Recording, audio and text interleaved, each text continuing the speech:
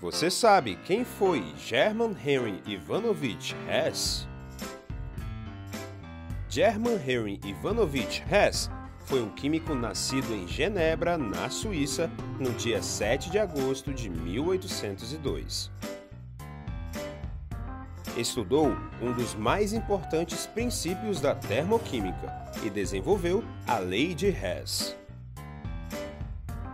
Estudou medicina, Química e Geologia. Na Universidade de Tartu, de 1822 até 1825. Foi médico até tornar-se professor de Química da Universidade de São Petersburgo, em 1830.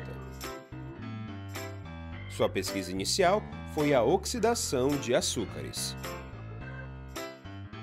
Suas principais pesquisas foram em jazidas de minerais russos e de gás natural na região de Baku, às margens do Mar Cáspio.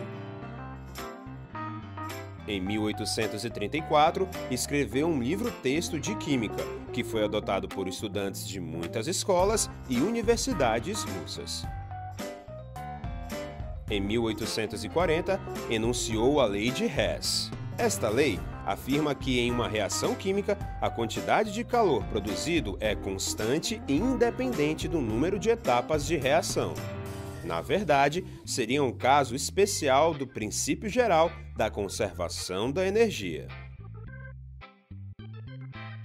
Publicou a obra Fundamentos de Química, um dos melhores textos de química na Rússia durante anos.